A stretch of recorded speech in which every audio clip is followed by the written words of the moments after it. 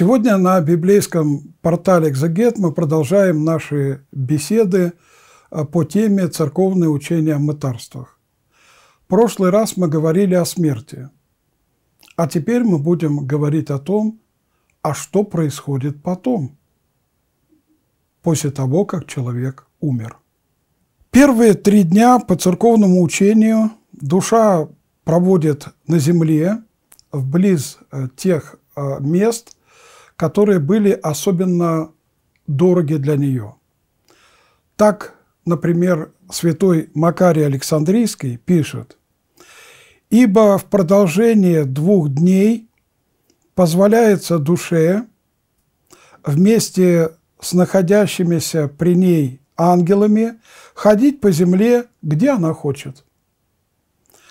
Посему душа, любящая тело, скитается иногда возле дома, в котором разлучилась с телом, иногда возле гроба, в который положено тело, и таким образом проводит два дня, как птица, ища себе гнездо.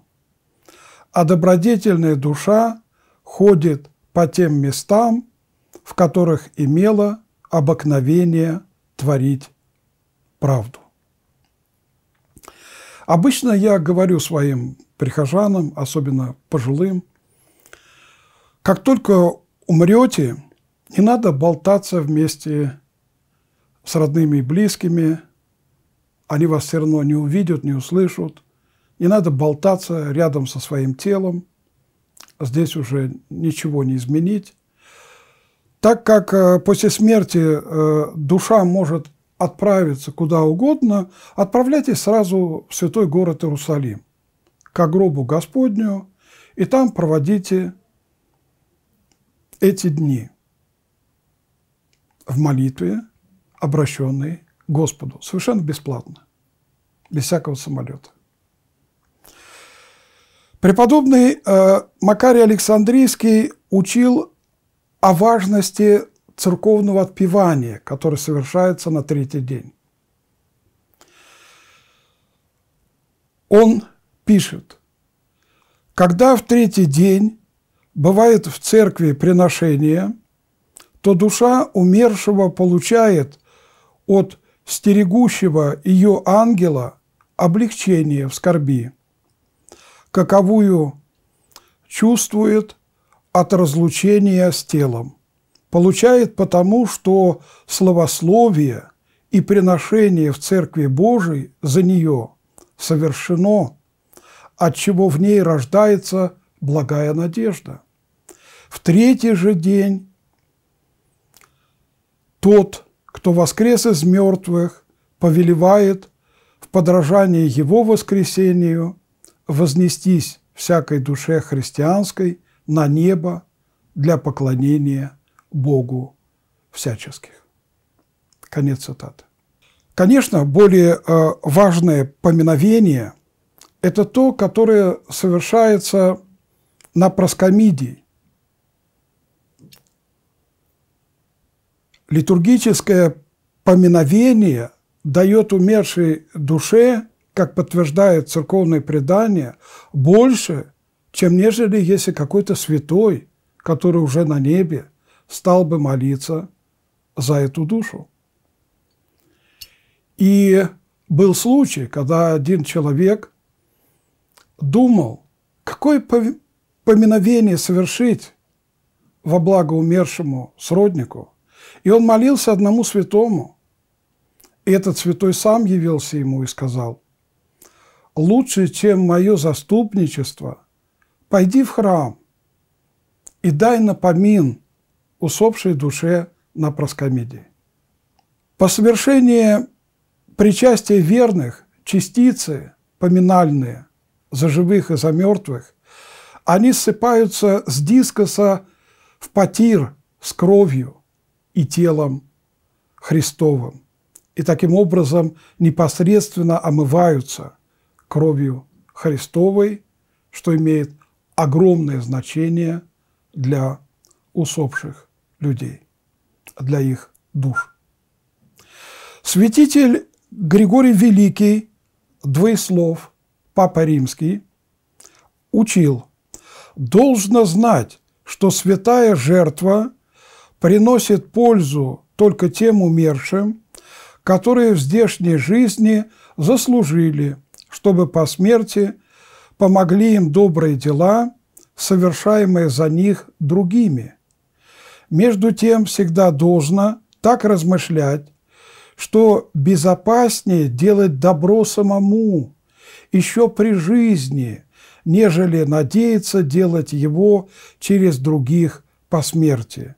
Блажение отойти из всего мира свободным, нежели искать свободы, когда свяжут. Посему, чем яснее видим истощание настоящего века, тем более должны презирать его всею душою, делать ежедневное жертвоприношение слез Богу и приносить каждый день жертву тела и крови Христовых. Как и в этой земной жизни э, причащают только верующих, так и помин на проскомидии предполагает, что этот человек был э, верный и как минимум стремился к таинству святого причастия. Слова папы Григория должно знать, что святая жертва приносит пользу только тем умершим, которые в здешней жизни заслужили, чтобы по смерти помогали им добрые дела, они точно соответствуют тому, что сказал Христос. По плодам их узнаете их. Собирают ли с терновника виноград или с репейника смоквы? Евангелие от Матфея, 7 глава, 16 стих. И это не означает, что человек спасается своими собственными делами. Скорее, его дела обнаруживают в нем спасительный дар веры, как и сказано у апостола Иакова. Но скажет кто-нибудь, ты имеешь веру, а я имею дела – Покажи мне веру твою без дел твоих, а я покажу тебе веру мою из дел моих.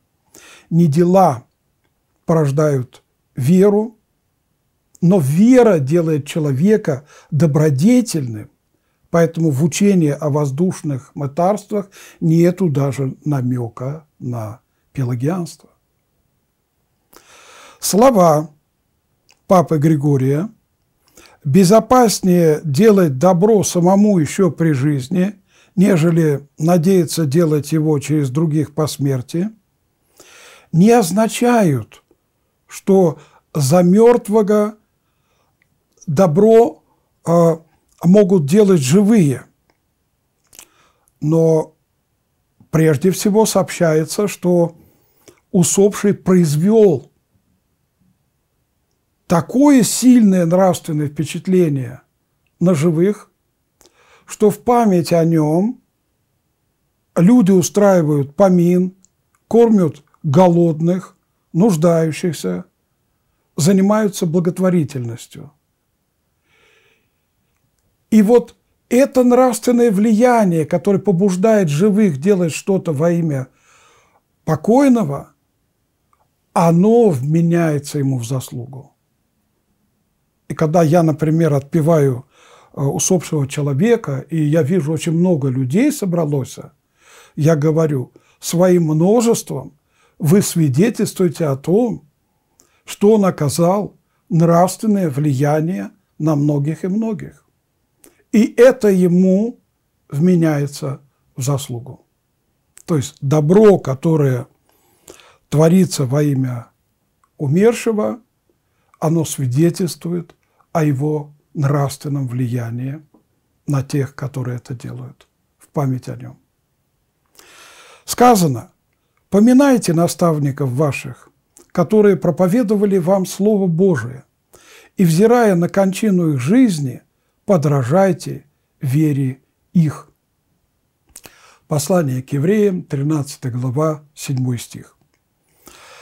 А то, что сказано папой Григорием безопаснее делать добро самому еще при жизни, это верно.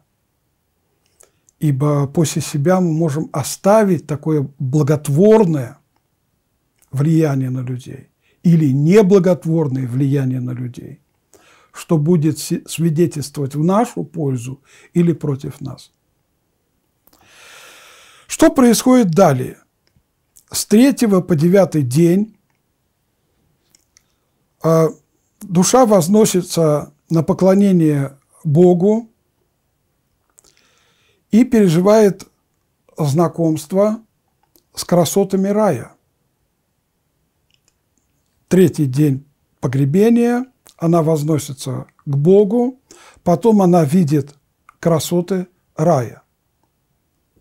Третья книга Ездры, седьмая глава, 51-55 стих.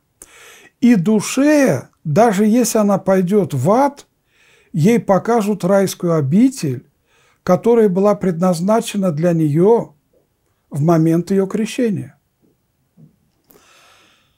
Нам уготованы жилища здоровья и покоя, то есть уже уготованы, а мы жили худо, то есть недостойно этих жилищ. Уготована слава Всевышнего, чтобы покрыть тех, которые жили кротко, а мы ходили по путям злым.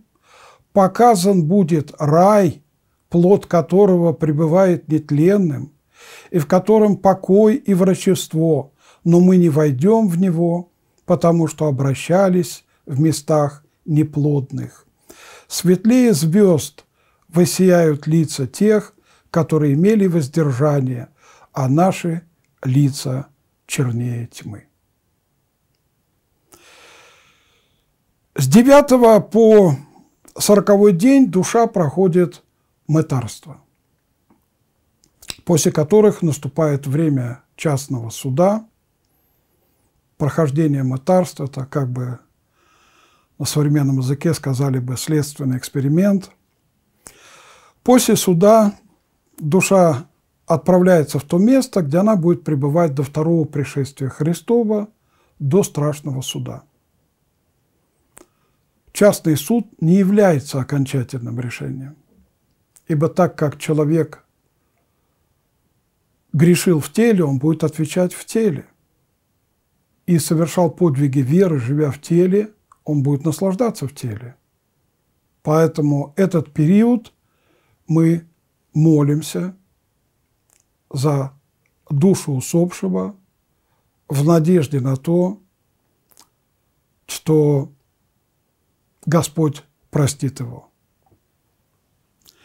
Но если даже душа обретает спасение, она обретает не по нашим молитвам, а по тому влиянию нравственному, которое оказал на нас усопший, то, что и заставляет нас молиться.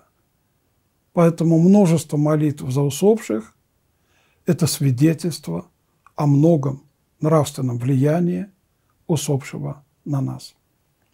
Блаженной памяти эрмонах Серафим Роуз, который всегда со скептицизмом относился к модернистам и э, неопротестантам, обратил в свое время внимание на брошюрку баптистского проповедника Билли Грэма. Это очень известный э, проповедник баптистский, если можно так сказать. Он был духовник и наставник Э, для некоторых американских президентов, в частности для Джима Картера. Почему же отец Серафим Роуз обратил внимание на его брошюру? Неопротестанты, такие как баптисты, они не пользуются святоотеческой литературой. Они пользуются только священным писанием. Этим, конечно, они обедняют сами себя – но отец Серафим Роуз обнаружил нечто интересное. До чего додумался этот проповедник баптистский только на основании Писания. И отец Серафим пишет, так протестант евангелист Билли Грэм пишет в своей книге об ангелах. В момент смерти дух покидает тело и движется через атмосферу. Но Писание учит нас, что там таится дьявол. Он князь, господствующий в воздухе. Послание к Ефесянам 2.2. Если бы глаза нашего понимания были открыты, продолжает баптист Билли Грэм, то мы, возможно, увидели бы, как воздух наполнен врагами Христа, демонами. Если сатана мог задержать на три недели ангела, посланного к пророку Даниилу на землю, то можно представить, какое противодействие может ожидать христианина после смерти. Момент смерти – это последняя возможность для сатаны напасть на истинно верующего. Но Бог послал своих ангелов, чтобы охранять нас в это время. Поразительно.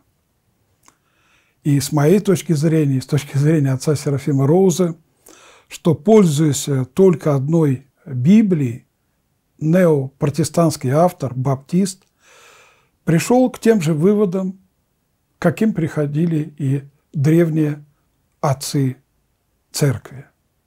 Действительно, учение о мытарствах – это учение, которое опирается не только на святотеческие тексты Восточной и Западной Церкви, но прежде всего на Священное Писание.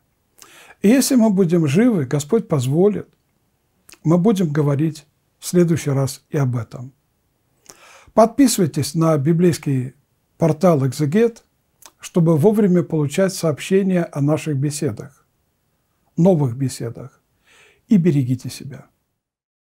Внеси свой вклад, оцени, подпишись и поделись этим видео.